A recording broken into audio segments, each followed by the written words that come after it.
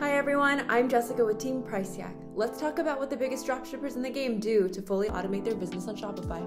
PriceYak fully automates a number of the most painstaking things that you have to do in order to run a robust dropshipping business, including creating listings, managing your prices and quantity and availability, and fulfilling your items. After that, there's tracking upload and return automation also. So here's a little history on PriceYak Zinc and why we think you should trust us with your dropshipping business. PriceYak began in the MIT dorm rooms of our founders, went through one of the most prolific startup incubators in San Francisco called Y Combinator, and then was eventually built out by some of the smartest engineers in San Francisco from Dropbox, Palantir, and other companies. To develop PriceYak, we worked hand in hand with some of the most robust dropshippers, most experienced dropshippers sourcing things from Amazon, managing hundreds of millions of listings and placing hundreds of thousands of orders we know what works, we build reliable software, this is why they count on us. And we're excited to bring this capacity to Shopify now. We're a real team based in the US. We work very, very closely with our dropshippers to make sure that our software works reliably, and we're continuously building the coolest tools for you guys. So follow along while I take you on a quick tour of PriceYak.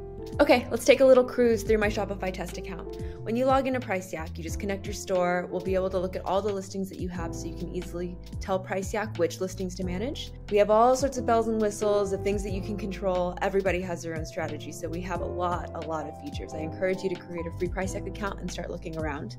The way you create listings is you go to this panel, you grab a product ID called an ASIN from Amazon, you paste it in, you hit list now and we'll create the listings for you in your Shopify store.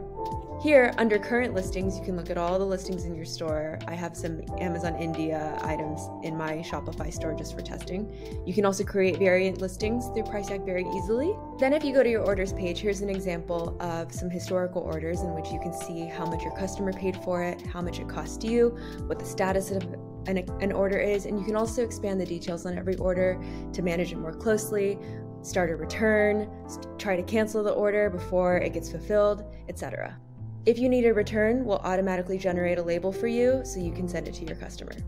Also, when an item gets placed on Amazon, we start waiting for a tracking number, and as soon as we receive it, we'll upload it to Shopify for you so your customer can track the item.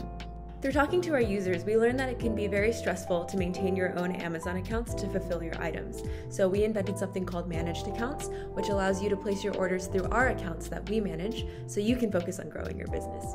So those are the core core basics of PriceYak. Just wanted to give you a quick overview, but as always, I encourage you to create a starter account, poke around, get a feel for it yourself, and see and feel the power of fully automating your dropshipping store with PriceYak.